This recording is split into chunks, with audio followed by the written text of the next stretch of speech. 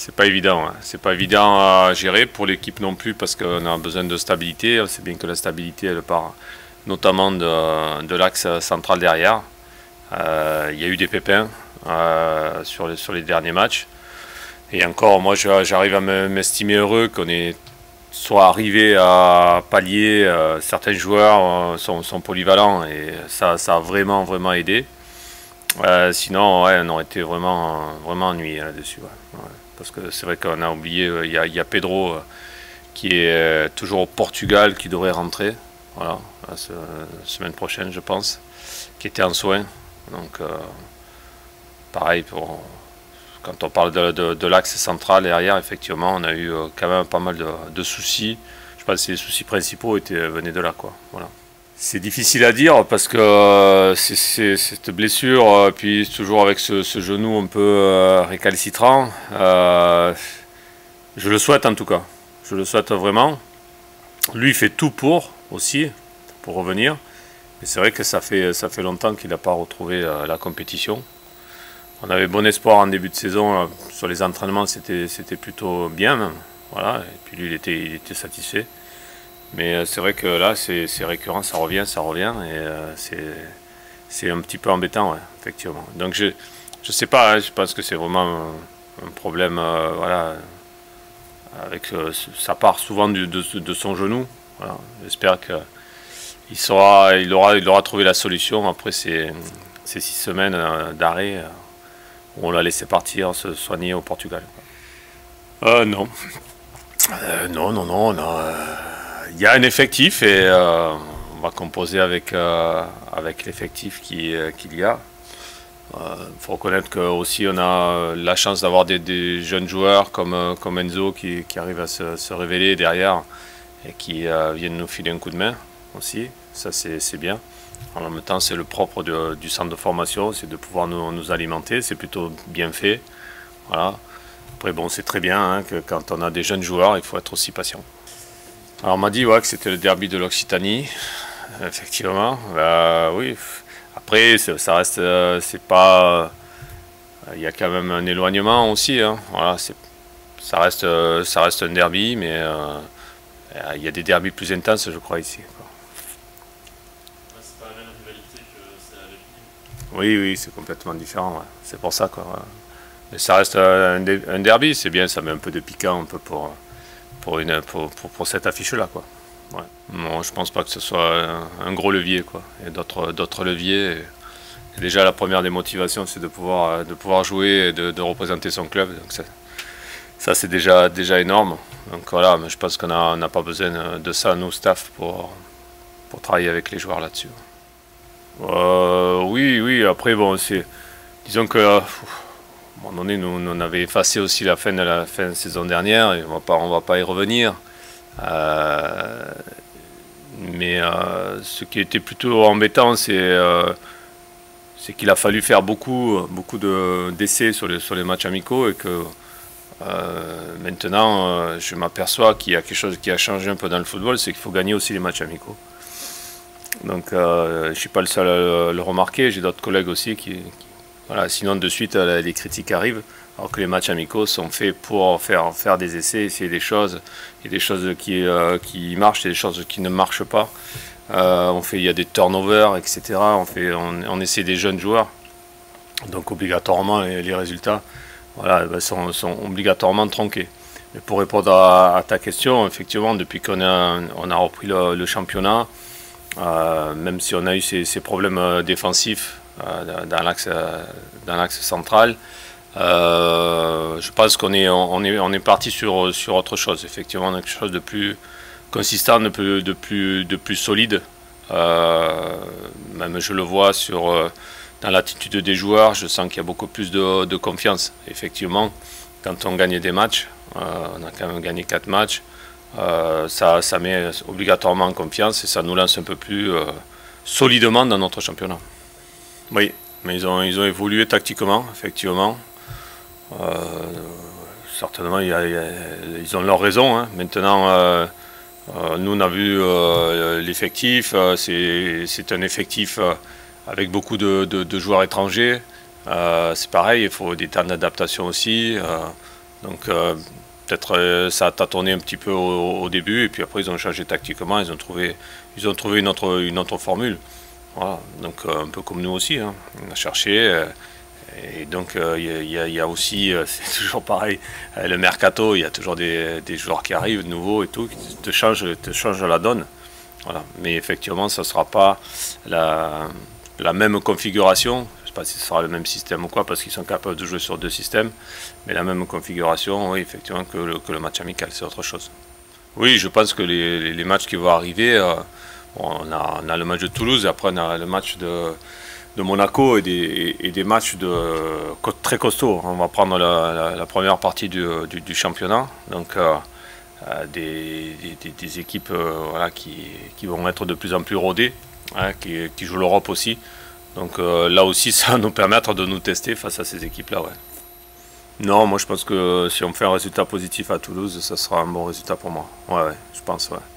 Oui, Toulouse est une équipe quand même qui est, qui est dangereuse, qui a, hum, qui a un gros public aussi, ils s'en servent. Je pense, ça me fait penser un petit peu à Lens et à, Strasbourg. Euh, c'est un public qui a, qui a manqué un petit peu sur les derniers temps de, Ligue 1. Là, maintenant qu'il la retrouve, ça pousse fort. Je pense que les joueurs se servent beaucoup de l'énergie du, euh, public à, Toulouse. Donc ça, il faudra qu'on le, prenne en compte aussi. Mais euh, non, non, si on revient de, là-bas avec un nul, après bien sûr, il faut voir comment ça se passe. Mais euh, si on fait du positif, c'est très bien. Ouais, ça c'est bien aussi, parce qu'on a besoin d'avoir ça.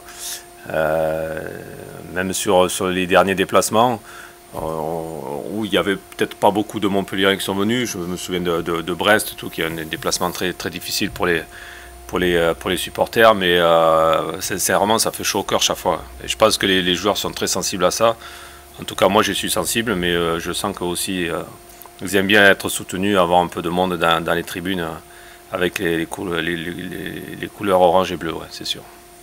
C'est toujours difficile à dire. Je pense qu'on a passé, nous, un cap, comme on vient d'en parler. Je pense qu'on est un peu, plus, un peu plus confiant, un peu plus solide aussi.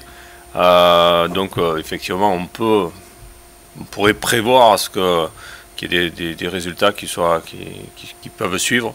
Maintenant, euh, comme je viens de te dire, il y a quand même là une série d'adversaires qui sont de, haut niveau. Mais euh, mais voilà, c'est vraiment intéressant. On a, le jeu languidillette parce qu'en fait, ça va être, euh, ça va être des, des, tests vraiment très, très forts. Voilà, et puis ça va nous permettre de nous situer, comme tu disais, pour, juste avant la Coupe du Monde. Quoi. Non, non, en fait, bah, c'est compliqué quand on joue pas. Bien sûr que ça ne doit pas lui faire plaisir et ça lui fait pas plaisir. Le but, c'est de, de jouer. Arnaud reste un joueur important pour l'effectif. Euh, déjà parce que c'est un garçon qui mentalement est très fort. Euh, il, peut être déçu de ne, ne, pas jouer, mais ça ne se voit pas, euh, notamment euh, sur, euh, les entraînements. Donc déjà, ça c'est un très très bon exemple. Et on sait que nous, euh, on, peut, on peut compter, quoi qu'il il advienne, compter sur lui. Voilà. Après, il reste aussi important dans, ses rentrées. Il n'a pas été titulaire jusqu'à présent. chaque fois qu'il est rentré, il nous amène un plus à différents postes. On sait très bien que les fins de match, hein, des, fois, ça peut être délicat. Et euh, nous, moi, je sais que j'hésite pas à faire rentrer Arnaud à certains postes euh, pour des, euh, des missions euh, voilà, de, de, de, 10 minutes, mais qui, reste très, très important. Et lui, il joue le jeu à fond là-dessus. Donc, euh, Arnaud, je le répète, est un, joueur important avec euh, voilà, une grosse, grosse mentalité et il est tout tourné vers, vers le collectif. Voilà, ça c'est vraiment important. Accomplissement, non, c'est pas un accomplissement, mais en fait, c'est toujours une satisfaction. Mais je savais aussi, parce que je suis en relation un petit peu avec les, les coachs aussi de, de, l'équipe de France, que bon, déjà, il était, il était surveillé là, par, par, Sylvain Ripoll. Donc, euh, non, je, le prends avec, euh, ouais, avec bonheur, ça c'est sûr. C'est toujours intéressant parce que pour le joueur, lui, c'est intéressant pour lui. Ça lui montre que le boulot qu'il fait eh ben, lui permet d'avoir des, des, résultats en club, mais aussi euh, sur, sur, sur, les équipes de France. Et qu'il est obligé, euh, ça c'est des bons messages que je, moi je, je me sers, parce qu'après, pour, pour, parler de, des, avec Ellie, après, c'est important pour moi. Parce qu'après, ton travail est récompensé. Si tu travailles moins, ben, tu n'iras pas en équipe, en équipe de France. Voilà, c'est surtout ça. parce qu'il a, il a de l'ambition, il a envie, d'y arriver. Euh, comme je dis souvent avec Eli, il faut qu'il trouve, encore plus de maturité. Je trouve que sur les derniers matchs, il, euh, arrive à être un peu plus euh, endurant pour finir les matchs. Il, met de plus en plus de puissance dans, ce qu'il fait. Il y a des petits détails voilà, qui, qui, qui peaufinent. On parle du jeu de tête ou encore sur, sur le placement et tout il est en train de peaufiner tous ces détails-là, donc ça, ça, lui permet d'avancer. Mais ça part du, de, son travail. Après, euh, l'autre objectif qu'il a, c'est euh, la continuité. La continuité pour continuer à monter euh, progressivement. Il a, il a changé d'état d'esprit parce que je pense qu'il mûrit, voilà. Mais, mais je suis encore là derrière lui, ça c'est sûr. Alors déjà, euh, TJ n'a pas pu venir parce qu'il euh, sur euh, voilà, dans notre escapade, j'étais seul dans l'escapade avec les avec les arbitres. Voilà, donc c'était une, une, réunion principalement sur le, fonctionnement de la VAR. Voilà. Donc TJ a eu un petit problème la veille, donc il n'a pas pu se déplacer. Et je me suis retrouvé donc à Paris avec euh, certains coachs, voilà, et on a bien, bien discuté des derniers problèmes aussi qu'il y avait entre les, euh, sur les, notamment sur les, sur les pénalties et sur les cartons rouges. Donc on d'une, euh, la dernière, la dernière journée a été très rouge, on va dire, donc avec quand même pas mal de, de, sévérité, voilà. Donc on a, a évoqué ça. Donc on a, bien parlé sur, une matinée. Et puis euh, les coachs et les, joueurs qui étaient présents, les capitaines qui étaient présents ont testé la, VAR par eux-mêmes pour voir comment ça, fonctionnait. Moi, je l'avais déjà vu euh, en vidéo sur une, session à Clairefontaine, mais euh, là, bon, ben, on, l'a essayé. C'est vrai que c'est un vrai métier aussi, pour vite vérifier toutes, les, toutes les actions sur, chaque but et tout. Donc c'était assez intéressant. Ça nous a permis de, communiquer entre coach euh, et, arbitre et puis voilà, de dire un petit peu ce qui allait pas et ce qu'on pouvait, euh, pouvait rectifier. Voilà, l'escapade était pas mal. Hein? Ouais, je pense, ouais. Je pense qu'il y aura moins de cartons ou moins, euh, moins de dégainés rapides, quoi. Voilà, parce que des fois ça va, ça va, ça va très très vite. Euh. Et ça, c'est en fait dû euh, aux consignes qui ont été données en, début de, saison, qui étaient euh, très rigides, je pense, excessives. Et ça a été appliqué, appliqué à la lettre. Donc il faut rester dans l'esprit du jeu quand. Sinon, comme on voit sur, sur le match de, de Nice, si au bout de de 10 secondes, il y a déjà une, expulsion qui n'est pas euh, vraiment, euh, qui pas méritée. Voilà. après, chacun euh, le voit à sa manière.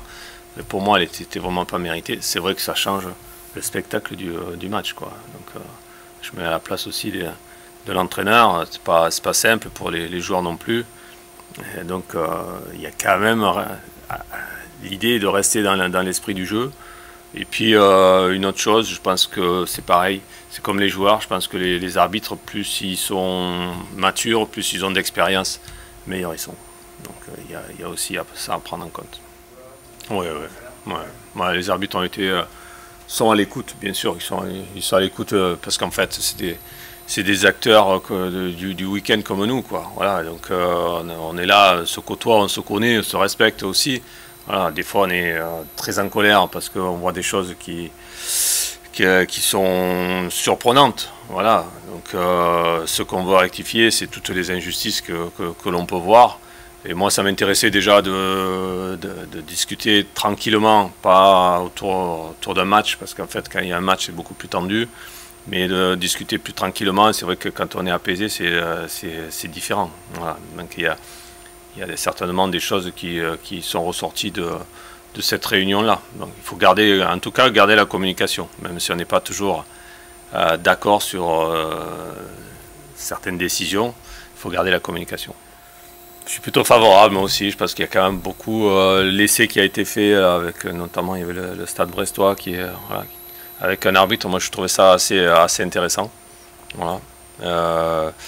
Après, c'est vrai qu'il euh, y, a, des choses où même de, notre côté on doit, évoluer. Euh, Je pense que ça se travaille déjà sur le centre de formation, c'est les attroupements autour de l'arbitre. Je pense qu'en rugby, ça n'existe pas. Euh, nous, ça existe trop. Je pense que déjà, il faut que nous, on balaye là aussi devant, notre, devant notre porte avant de pouvoir aussi réclamer d'autres choses. Mais je pense que là, il faut que, nous, on fasse un effort. Ça sert à rien en plus. Mais c'est un peu rentrer dans les mers dans le football et je pense pas que ça aide le foot.